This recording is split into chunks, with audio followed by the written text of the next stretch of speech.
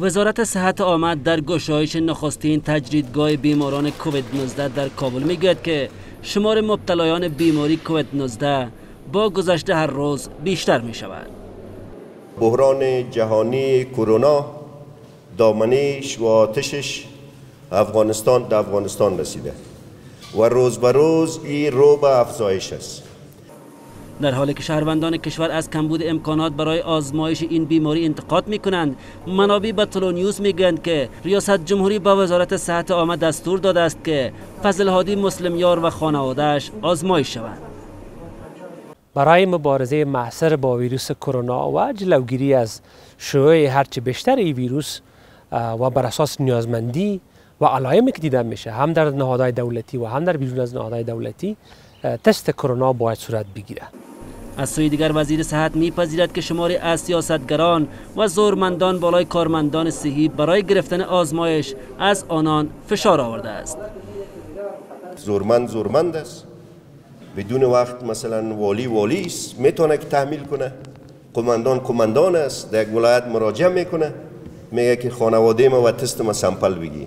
او دکتر چپن سفید معصوم ما با او کتای تشخیصیش مجبور و مکلف است که بره از پیش از او تست بگیره.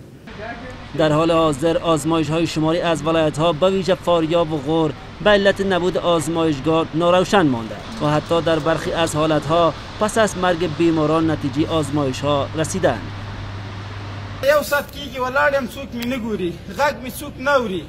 رئیس صاحب جمهور وزیر صاحب د صحت عامې ما خو پرون کمزلې وکړې خو بیا هم درته وایم چې ټول ټول جنایتکاران یې.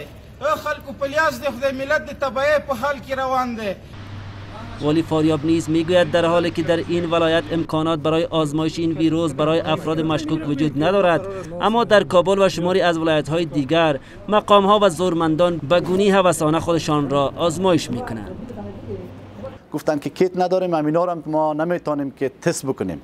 در حالی که خبرها برای ما میرسانه که در کابل و در جاهای دیگه اقتداد کسایی که حالا مامورین بلند پای حکومت هستند یا واسطدار هستند اینا تست های حواسانه انجام میتن در حالی که علائم وصفی کرونا را ندارند با این هم وزارت صحت عامه یک طبقه کاخ دارالامان را که 200 بستر دارد برای نگهداری از بیماران کووید 19 آماده ساخته است. اما دیده شود که در این تجدیدگاه شهروندان عادی نیز را پیدا خواهند کرد.